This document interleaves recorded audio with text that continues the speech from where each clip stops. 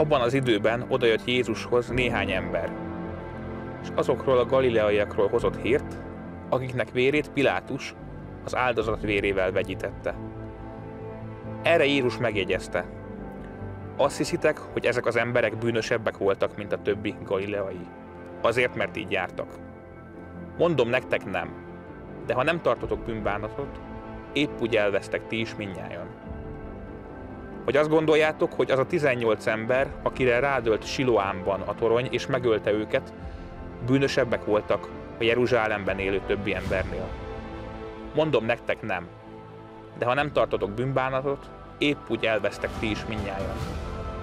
Aztán egy példabeszédet mondott. Egy embernek fügefa volt a szőlőjében, kiment, gyümölcsöt keresett rajta, de nem talált. Erre így szólt Vincellérjéhez. Ide járok három év óta, hogy gyümölcsöt keressek ezen a fügefán, de nem találok.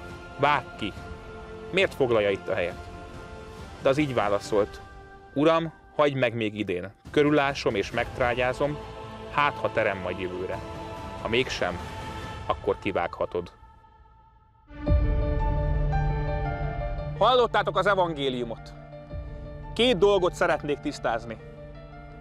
Az első, hogy Isten sohasem büntet. A második, a bűnösségünk és a bűntelenségünknek a kérdése. Isten sohasem büntet, pedig két katasztrófát említ a rész, hogy az embereket megölik és az áldozat vérivel megyítik az ő vérüket. A másik, hogy rájuk dől egy torony és meghalnak sokan. Mind a kettő katasztrófa. Azt szoktuk mondani, hát nem de Isten büntetése. Nem de valami olyat tettek, aminek ez a következménye, hogy meg kell halniuk, vagy így, vagy úgy. És én azt mondom nektek, hogy ilyen nincs. A következményeket észlelitek, de az eredő teljesen más. A mai evangélium ebbenetek segít. Azt mondja Jézus, hogy azok az emberek bűnösebbek, akiknek Pilátus a vérét vegyítette az áldozat vérével? Vagy azok az emberek a bűnösebbek, akikre rádölt a torony, a veszedelem? Bizony mondom nektek, semmiben nem különböznek ti tőletek, akik most a tévét nézitek.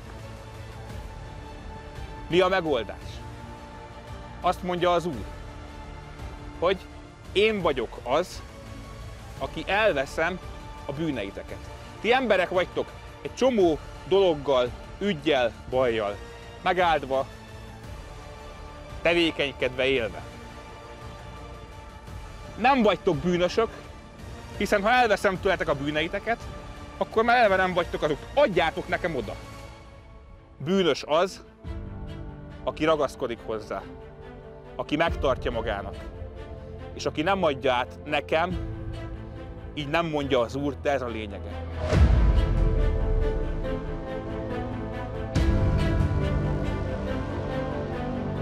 Bűnös, bűntelen, bűnösebb. Bűnös, bűntelen, bűnösebb. Bűnös, bűntelen, bűnösebb. Szabadulni kell. Ennyi a lényeg. Nincs olyan, hogy bűnösebb. És azt mondtam nektek, hogy nincs olyan, hogy bűnös sem. Csak ha megmaradunk benne. Nem tudok nektek mást mondani, csak az Urat. Azt mondta, hogy amikor reménytelennek tűnik, akkor jövök én. Azért volt ott a fügefás hasonlat. Hogy oda megyek, körbásom még egyszer, megtrágyázom. Ez azt jelenti, ha kell, meg is halok érte, sőt, meg is halt érte. Vagy pedig járt megint ugyanazt az utat.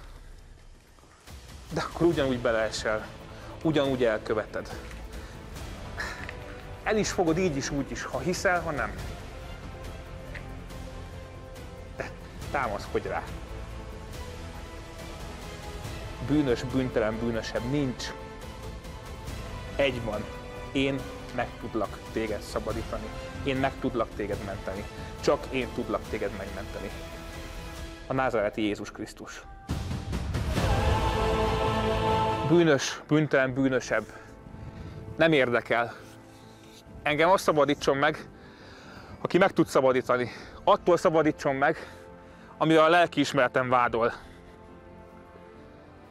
És hogy mi történik velem közben, hogy rám esik a torony, vagy valaki megöl, vagy bármit tesz velem, az már nem az én lelki ismeretem.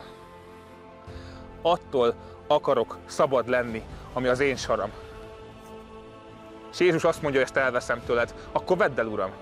Mi mást kérhetnék?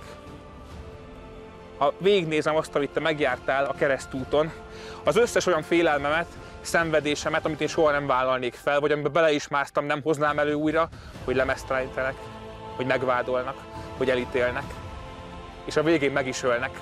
De te azt mondod, hogy utána a sírba, és onnan kiülve feltámadhatok veled együtt, hát menjünk. Mit is akarnék mást? Nekem nem kell fügefa. Nekem elég a keresztfa megszabadító ereje és a feltámadás harmadnapra.